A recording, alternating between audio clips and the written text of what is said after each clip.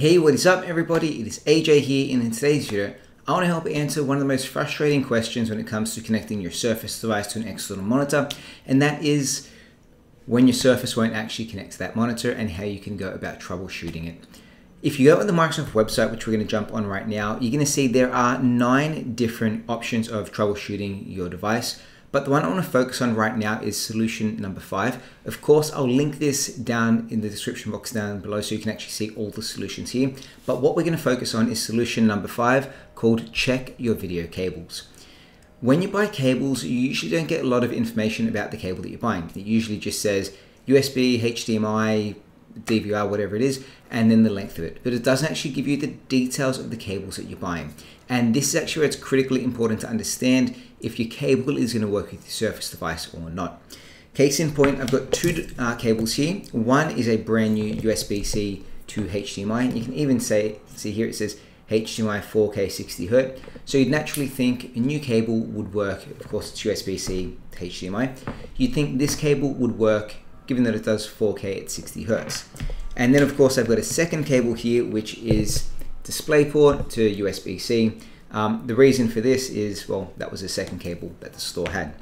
So I've just plugged in the first cable, the HDMI to USB-C, uh, plugged it into the monitor, and now I'm gonna plug this end into my Surface Pro. Let's see what happens.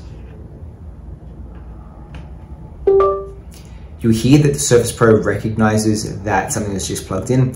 It's gonna pop up in the display settings and it's gonna recognize that there is a second display here. I can choose the options of make this my main display, but if I actually look at that display right now and I go make this my main display, you'll see that it doesn't actually transmit any information over to that display. Uh, I can choose to go show only the second display and then now both of my screens have gone black but it thinks that it's actually displaying data on that second display. So I'm gonna have to unplug my Surface Pro and go revert changes just to get that display back. Uh, I'm gonna plug it in one more time. Again, it picks up that second display, but the screen has gone black. On both of them, there's a Surface Pro and there is the, other, the Pro and the display screen. Uh, and you're just not getting any data or any video out of either of them using this cheap cable. So now let's go ahead and plug in the other cable. For reference, the cable that's not working was a cheap Amazon cable for under 20 bucks. This cable here cost me $60, so it's a bit more expensive, but let's see what happens when we plug it in. So now I'm plugging in the console cable. This is the more expensive cable. We plug it in. It takes a second to realize we have a something connected to the computer. And then straight away, it kicks off and it is connected on both devices.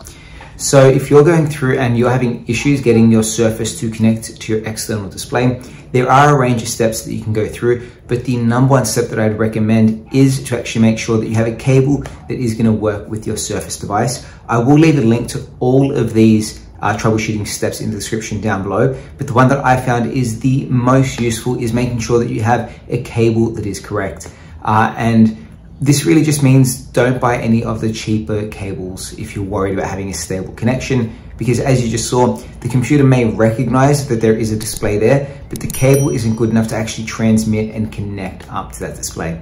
Hopefully this video gave you a bit of information. If you did like this video, let me know by giving a thumbs up. And of course, if you want to supercharge the ways your computer, hit that subscribe button as well. Thanks for watching and see you next time. Bye.